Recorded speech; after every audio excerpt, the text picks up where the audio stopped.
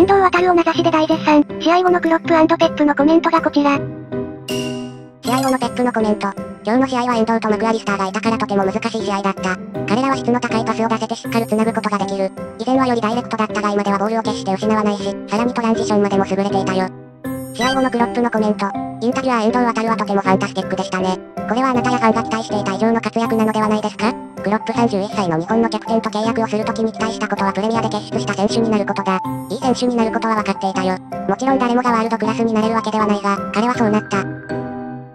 世界最高峰の監督に絶賛される遠藤。言葉数は少ないが、自ら世界の頂まで突き抜け、背中でワールドカップ優勝と語る日本のキャプテン。この偉大さ、もっと知られてほしい、ペップも言ってる。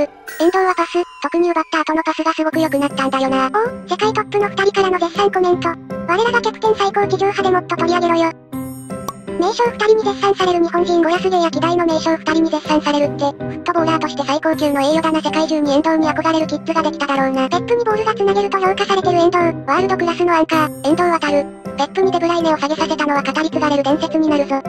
日本人が世界最高の監督にこんなこと言われる日が来るなんて、泣ける。プレミアどころか世界最高レベルの試合でスタメンで出場しただけでも十分凄すぎるのに、名将たちに名指しで称賛されるのはもう国民栄誉賞あげてくれ。おこがましい話ですが、俺すら誇らしい。すごいよな、またプレミアの強豪で不動のスタメンあのクロップやペップが大絶賛。最高かよ、涙出そう。日本のマスコミはもっと騒げよ。これが俺たちの綿や。